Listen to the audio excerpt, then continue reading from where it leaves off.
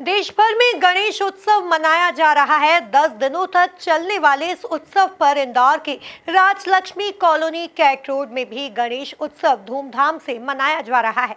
राजलक्ष्मी गणेश उत्सव समिति में दस दिनों तक अलग अलग कार्यक्रम का आयोजन किया जा रहा है। देखिए ये खास रिपोर्ट। राजलक्ष्मी नेचर टाउनशिप में विशेष कार्यक्रम समिति द्वारा हर वर्ग के लिए रखा गया। बच्चों के लिए केबीसी, चेयर रेस और महिलाओं के लिए तंबोला, साथ ही महाछप्पन भोग 108 दिए से आरती और आनंद मेला जैसे प्रोग्राम रखे गए। इस आयोजन में कॉलोनी के सभी रहवासियों ने बढ़ चढ़कर भाग लिया, साथ ही सभी वरिष्ठों के लिए कविता पाठ और भी बहुत से प्रोग्राम किए गए। आगामी दिनों में आनंद मेला और महाभारत आधारित नाट्य की प्रस्तुति रहेगी।